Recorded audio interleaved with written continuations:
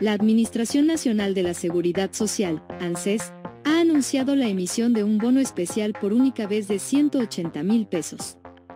Bienvenidos a las noticias para jubilados y beneficiarios de ANSES.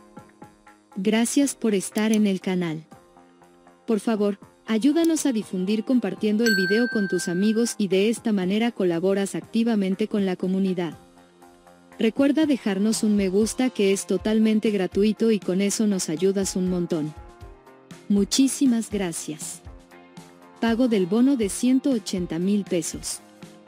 Este bono se acreditará de acuerdo con el calendario de pagos de marzo de 2024. ¿Quiénes son elegibles para recibirlo y cómo pueden solicitarlo? ANSES ha confirmado la entrega de un bono extraordinario de 180 mil pesos, que será acreditado siguiendo el calendario de pagos de marzo de 2024.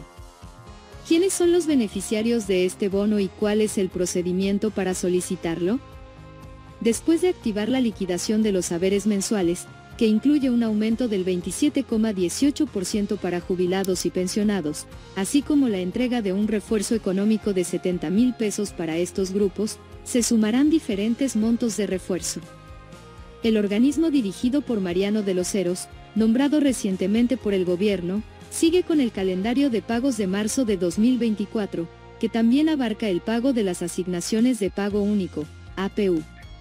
ANSES realizará un pago adicional de 183.156 pesos a quienes hayan adoptado a un menor de edad entre los dos meses hasta los dos años de su nacimiento o del dictado de adopción.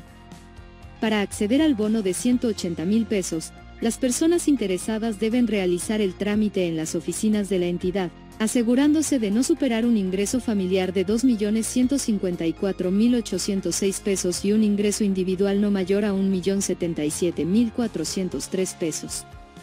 Los solicitantes deben tener la sentencia de adopción, cumplir con los topes máximos establecidos y contar con los documentos de los padres, el menor adoptado y su partida de nacimiento.